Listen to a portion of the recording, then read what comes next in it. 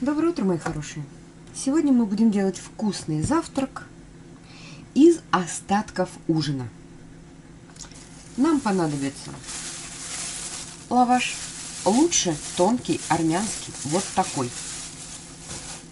Потом покажу.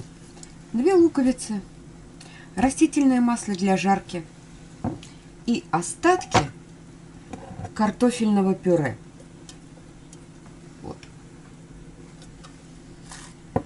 На всех мало.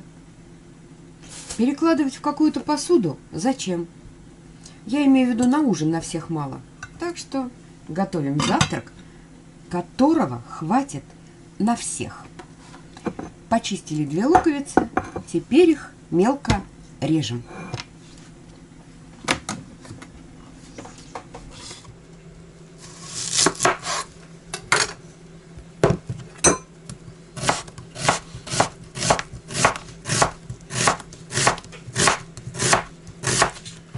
Вот так мы нарезали две луковицы. Вот так. Не крупно, не мелко. Ставим на огонь сковородку, наливаем масло. Еще кладем кусочек сливочного масла, чтобы лучок гарантированно был золотистым. Сковорода нагрелась, масло нагрелось, выкладываем лук и обжариваем его до золотистого цвета, чтобы он стал ароматным, душистым. Он нам пригодится именно таким и красивым.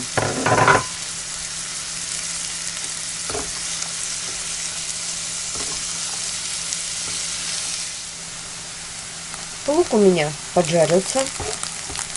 Не все кусочки. Есть кусочки прозрачные, а есть кусочки уже вот такие вот э, золотисто-серебристые. Все, я выключаю. Дальше не буду. Дальше может лук э, начать гореть. Так, что мы делаем теперь? Теперь мох уби... Ух, мох. Ребят, я уже совсем, я со своими орхидеями чокнулась. Убираем э, сковородку с луком с плиты. Так, берем картофель, выкладываем в мисочку. Вот так. Картофеля у меня не так много, но на завтрак на всех хватит. У меня много ароматного жареного лука. Так, выложили. Ну, сковородку, кастрюльку в мойку. Так, вот он, наш будущий завтрак. Лук я немного остудила. В картофельное пюре, которое я готовлю, я не кладу яйца, поэтому я не боюсь, когда лук а, не совсем остывший, выкладывать его в картошечку, в пюре. Так, и перемешиваем лук с картофельным пюре. Тщательно-тщательно. Это у нас будет наша начинка. Обязательно пробуйте на вкус, потому что можно поперчить, посолить. Можно добавить какие-то еще разнообразные вкусы. Например, болгарский перчик можно добавить, но я этого не буду делать. Я сделаю простой вот такой завтрак, картофельное пюре с жареным лучком. Можно зелени сюда покрошить. Но сегодня мы спали долго, ребят. Строители сегодня не приехали. И мне хочется побыстрее сделать завтрак. Вот такая масса у меня получилась. Конечно, надо попробовать. Угу. Чуть-чуть можно подсолить.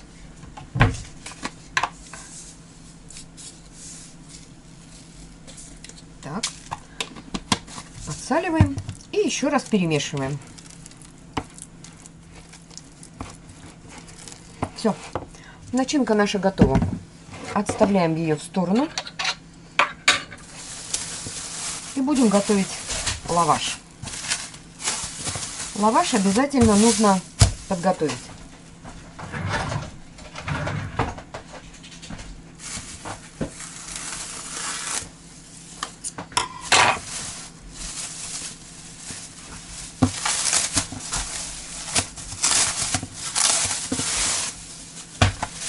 Люблю вот такой лаваш, он еще называется тандырный. Так, аккуратненько. Чтобы не было особо много дырок. Раскладываем. И нарезаем. Раскладываем поровнее. Ох-ох-ох.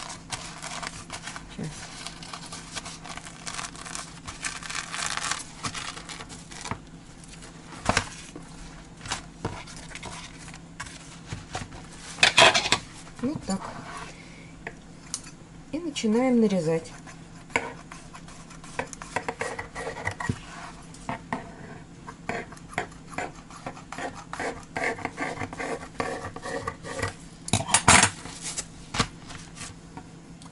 Это в рот.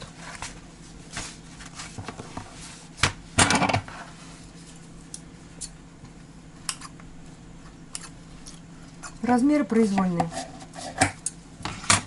Все подготовили. Переворачиваем поджаренный румяной стороной к себе. Теперь берем блинную сковородку или либо какую-нибудь другую,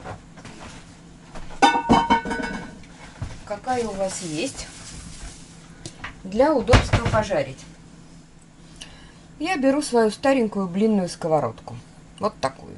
Ставлю ее на плиту зажигаю под ней огонь и наливаю масло.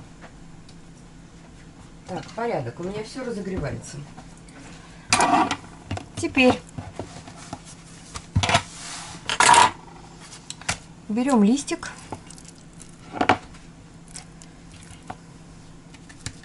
берем начиночку. Каждый кладет столько, сколько ему нравится. Много, значит много. Но будьте осторожны, кладите не очень много, то есть возможность подсесть. И заворачиваем лавашек. Можно намазать весь лавашек. А можно, как я, начинкой. Сковородка у меня разогревается. А я пока свои лавашики буду выкладывать на тарелку. Здесь у меня, видите, лавашек порвался, я его отложу в сторону. Лучше приготовить сразу несколько таких завернутых лавашиков, чтобы положить на, сковороду сразу столько, сколько там уместится, чтобы они одновременно жарились. Здесь тоже дырявенькие, я их применю, но для другой начинки. Причем лучше такие пирожочки жарить по мере того, как просыпаются ваши родные и близкие. Потому что они потом, пирожки, могут размокнуть. Пирожки жарятся буквально, ну, одна-две минуты с каждой стороны. Так, сковорода моя разогрелась. И я швом вниз выкладываю свои пирожочки.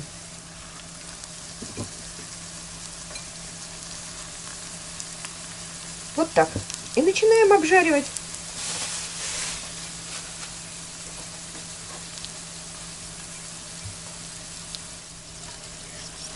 Подглядываем, поджарились или нет. Да, уже начинают поджариваться. Ну и одновременно ставим, ребята, чайник.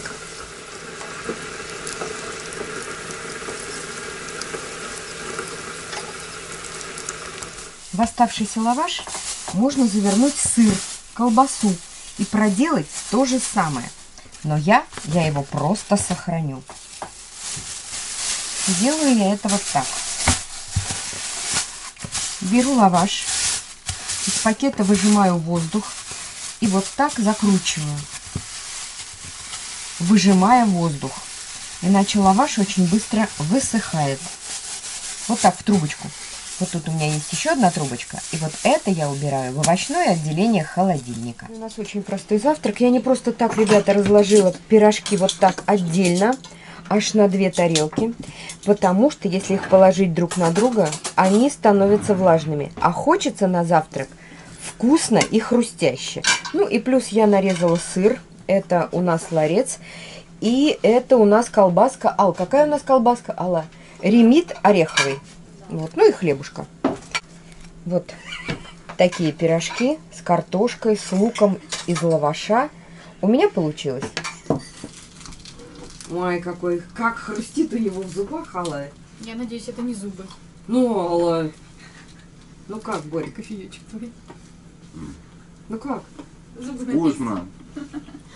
Открой рот, я посмотрю зубы. Протез на месте. Шутка. Шутка. Надеюсь, это позвоночник. С телефоном. Алюнь, попробуешь тоже, скажи свое мнение. А это с чем? Ну ты попробуй, потом скажешь. Ну, Я боюсь. Это с чем? Так не бойся. Я боюсь. Не пугай маму. С чем это? Ну попробуй. Это все вкусно. Ну, Прекрати ребенка пугать. Господи ты, боже мой. Уселись. Ты попробуй, дочь. А у меня тоже так будут зубы хрустеть? Конечно, а ты как думала? Я там камней А наложила. можно не надо? Ешь. Ну как она? Внутри держится пока. Все, ну вас нафиг, я от вас ухожу. Вы меня не любите. Я с вами больше не вожусь вообще.